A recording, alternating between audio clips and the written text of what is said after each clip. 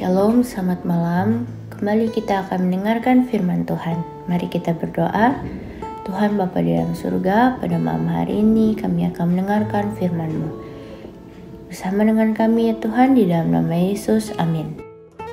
Mereka menyanyikan suatu nyanyian baru di hadapan tahta dan di depan keempat makhluk dan tua-tua itu dan tidak seorang pun yang dapat mempelajari nyanyian itu selain daripada 144 ribu orang yang telah ditebus dari bumi itu. Wahyu 14 ayat 3 Pendeta sebuah jemaat dekat Alexandria, Virginia, pergi ke sebuah toko alat-alat musik hendak membeli piano digital untuk couple kaum muda di gereja asalnya. Pianis couple kaum muda itu berencana menemuinya di toko untuk memastikan pendeta itu mendapatkan piano yang tepat. Tiba lebih dulu dari sang pianis, sang pendeta mencari piano yang dilihatnya dalam majalah yang diperlihatkan sang pianis kepadanya. Dia menghampiri piano itu dan mencoba-cobanya sendiri untuk melihat seperti apa suaranya. Jarinya menari-nari di atas tuts beberapa saat tetapi dia tidak mendengar sesuatu yang spesial. Sang pianis telah memuji-muji instrumen tersebut, dan para pembaca majalah memberikan peringkat tinggi pada instrumen ini. Namun telinga sang pendeta mengatakan bahwa piano ini mungkin diberi penilaian terlalu tinggi.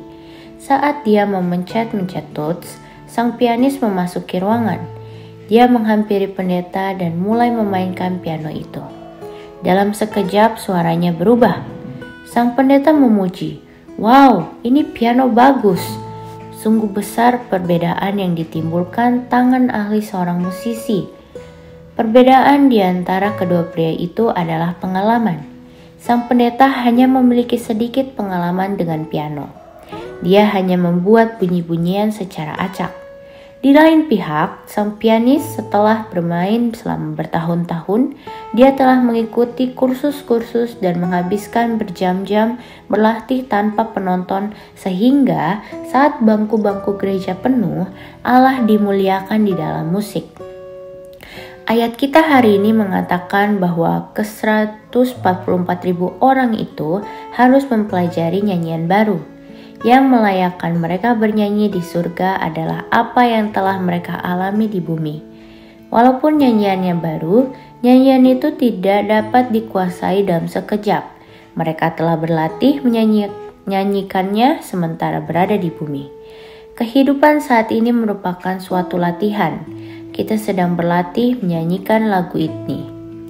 Jika Anda tahu bahwa orang-orang sedang menggosipi Anda, Anda bisa tetap tenang karena itu adalah sebuah latihan agar dapat menyanyikan nyanyian baru.